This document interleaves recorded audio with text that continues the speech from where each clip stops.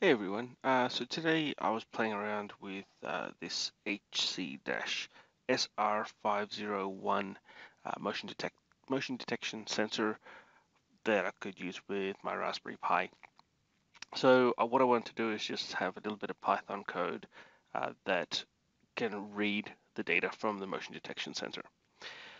Okay, so I plugged it all in. I'm not going to go into the details of that because I've been kind of talking about plugging stuff in in my previous blog posts. Uh, I'm still trying to get my head around all of it, so uh, I'm way, way from being an expert at any of this stuff. So I'm learning as I go.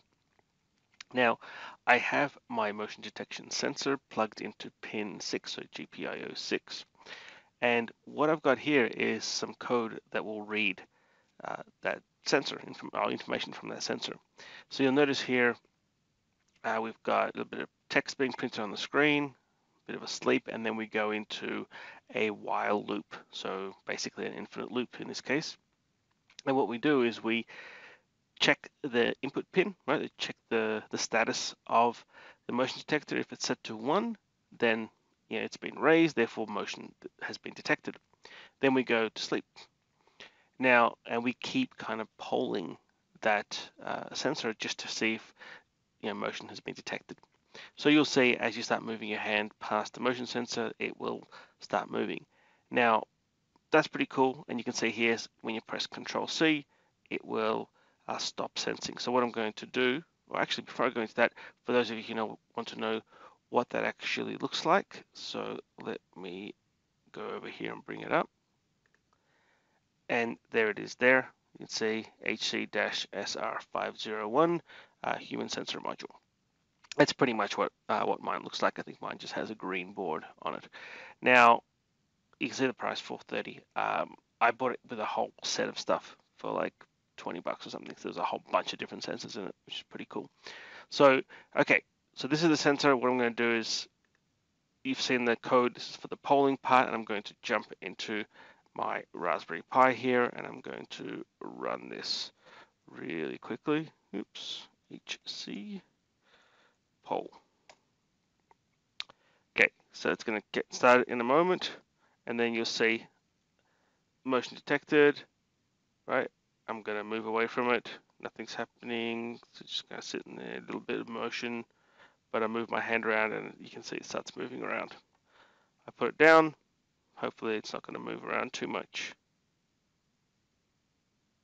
Oh, it's moving around a lot more than I expected. Anyway, okay, but you notice if I go back to my code, this is polling. So because we're doing this sleep, in between those sleeps, there's a good chance that there's going to be some motion and it's not going to be detected. So what's a better way of doing it? So I'm going to open up another file that I have.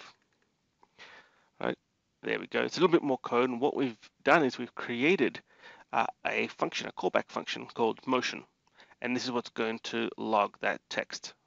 Now, as we go into here, notice that our while loop is a little bit different. What we're doing is first, we're adding an event uh, detect callback function. So we're saying when an event is detected on this particular pin with the GPIO rising, so this is that event, uh, that trigger event, or that edge event that is causing uh, something to happen, we're going to call back, uh, we're going to call this particular function called motion, which is up here, and then we'll go to sleep.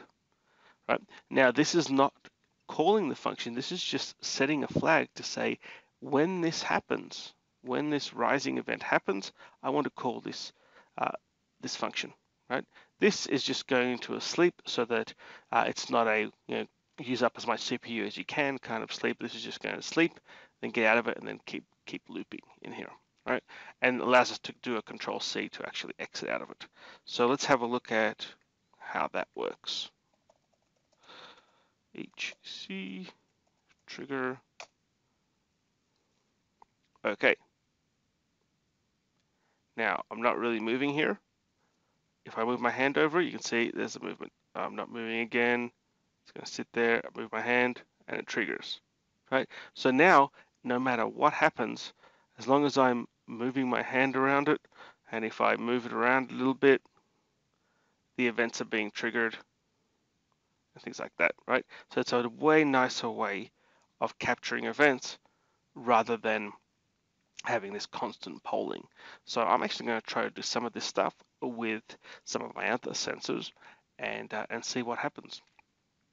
Right. Uh, one of my kind of goals of all of this is to actually have uh, this moisture, uh, like a soil moisture sensor, uh, in a plant and have it sit there and wait for a particular event to occur.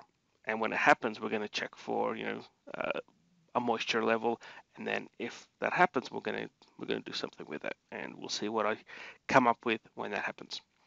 Okay, I'm going to zip up these Python scripts, Python code, and I'll make it available at the bottom of this blog post. So hopefully this is handy to those people who are kind of playing around with this stuff uh, uh, in the early stages of their Raspberry Pi development.